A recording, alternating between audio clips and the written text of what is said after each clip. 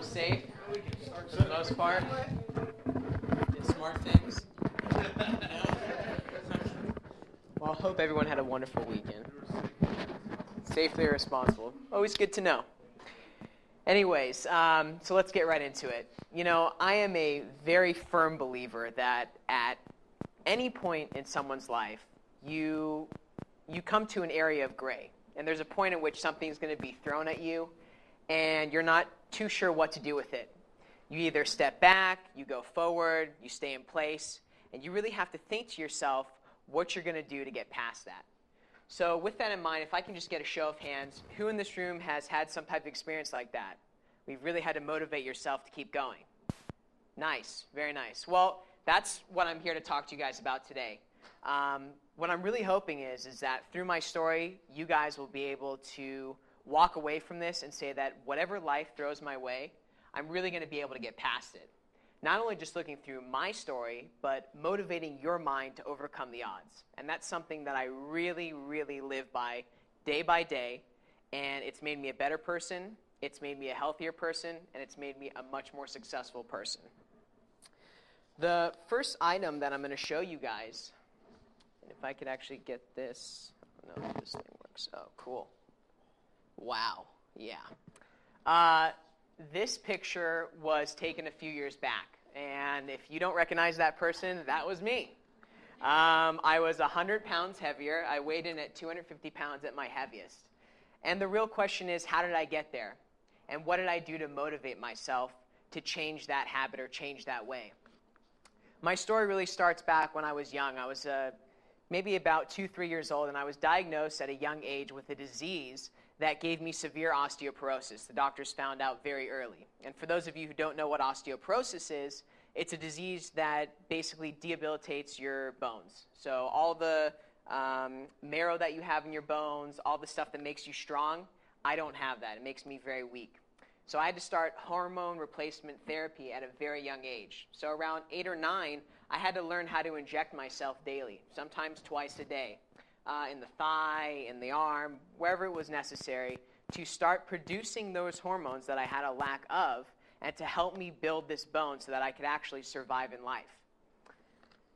This was something that was very hard for me to deal with. Uh, you can imagine most eight or nine year olds don't want to go to the doctor once a year just to get an injection. Imagine having to do it yourself and rely on yourself to survive and inject yourself every single day. So, this is something that made me very depressed and I was not allowed to go out and play sports.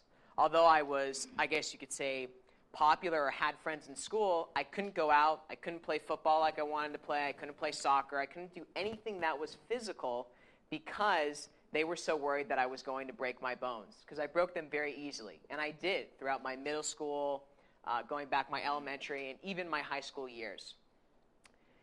Instead of talking to other people about it and expressing my feelings, I hid them.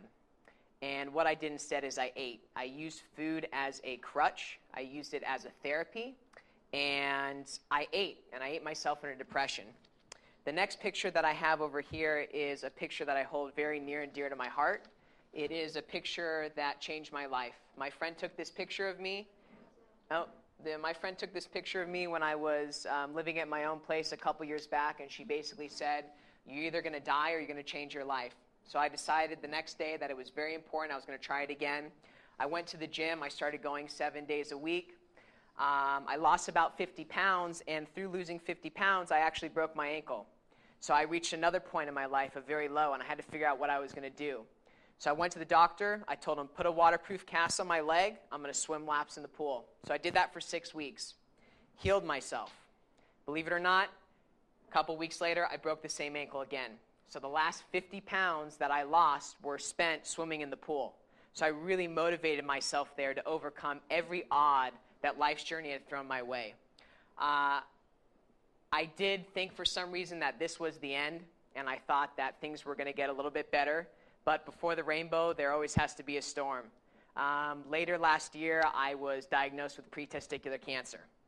I found out after I was biking, I thought it was something that was uh, a pulled muscle, and they basically told me that they had to go in. It was a very invasive surgery. It was very depressing. And after surgery, I woke up. I was hoping that things were going to be okay. Uh, unfortunately, the doctor told me that they did have to remove both of them, replace them with two prosthetics, and both were black when they came out, which meant that the tissue was disintegrating. So I was very lucky in one aspect, and it was very detrimental in another.